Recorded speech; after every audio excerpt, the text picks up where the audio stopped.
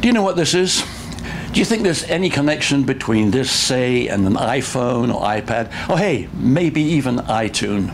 This is an LP, or long playing record.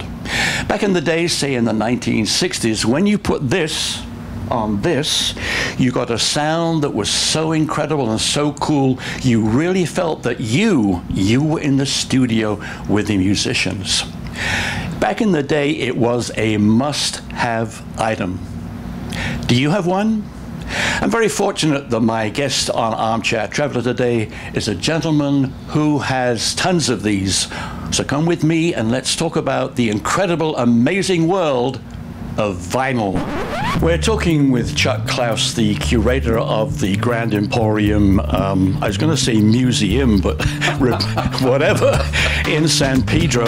First of all, we're surrounded uh, by a huge collection of CDs and records and vinyl.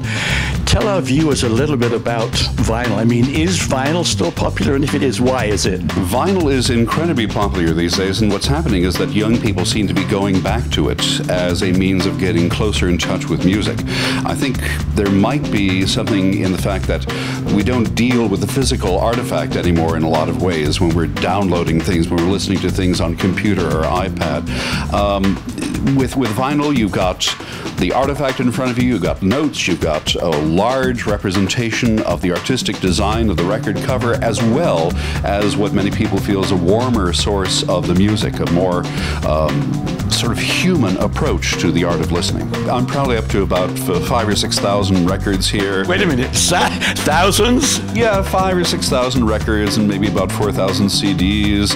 And we also do books at the Grand Emporium too, so we've got a few thousand of those stashed around and a few hundred autographs and um, DVDs and laser discs and videotapes. And we're, we're champions of the lost format, I guess. Before we close out, um, give us a look into the future of vinyl. I mean, is it here to stay? What, what, what do you see as the future of vinyl?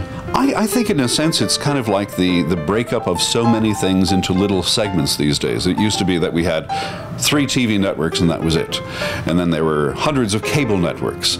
Um, I think once upon a time, listening was, in a sense, sort of monolithic. You listened to LPs, but now you can listen to LPs or CDs or downloads. Um, it, these things are going to continue to kind of multiply, and people will be able to find their comfort zone, what they enjoy best, what they get the most pleasure from. And uh, to me, that's absolutely terrific.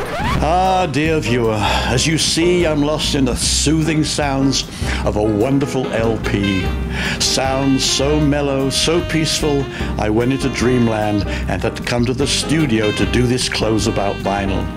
Do you, do you own any of this magic? Until we meet again, I'm John Clayton with another edition of Armchair Traveler. Thanks so much for watching.